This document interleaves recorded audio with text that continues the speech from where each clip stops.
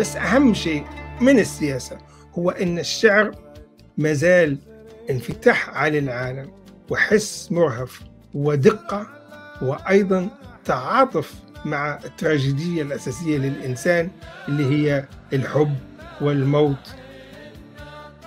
آه إنه أنا ولا مرة بحياتي تخيلت إنه سعدي يوسف آه يموت لأنه هذا تاريخ وهو يشبه يعني قلقامش آه, آه، يعني الشخص الذي الذي لا يموت.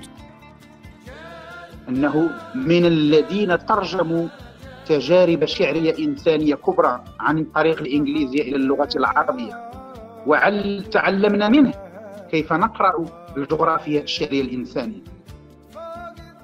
الديني آه إن إبراهيم كان أمة فسعدي كان أمة كان أمة الأمم. ولو عدنا لشعره سنكتشف أنه الحفيد الحفيد الرئيسي لامرؤ القيس. هذه المعادلة الصعبة بين الشعر الحديث والشعر من حيث هو لغة الناس وكلام الناس. كانت البصرة أغنية سعدي المفضلة التي نقشها على قلبه. سعدي كان الصادق الأمين والوريث الشرعي.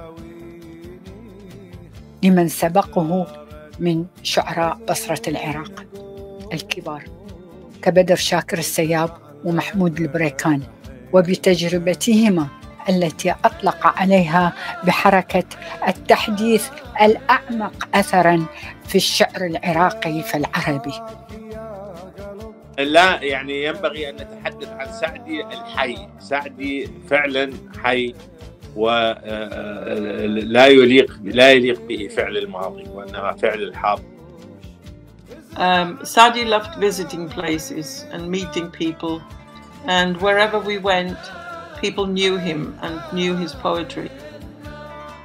سعدي الذي نعرفه وسعدي الذي نحبه ربما نكره فيه شيئا ما لكن هذا لا يغير من انه نحن امام هذا الإنجاز القومي الكبير والذي قلما أن يتكرر وربما لن يتكرر.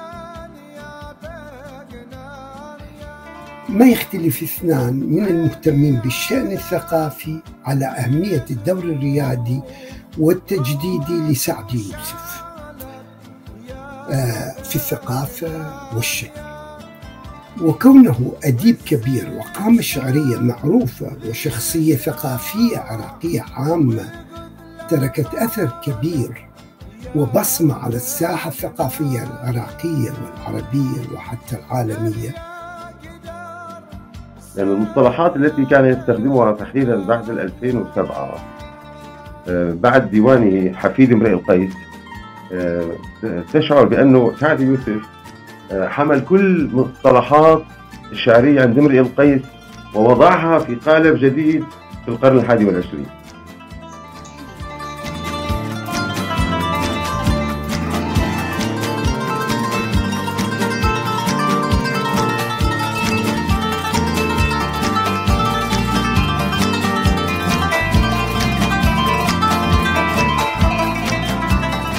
كان يقول أيضا كما نعرف قولته المشهورة أسير مع الجميع وخطوتي وحدي. ازرع لنا حنا حنا حنا حنا وجمالنا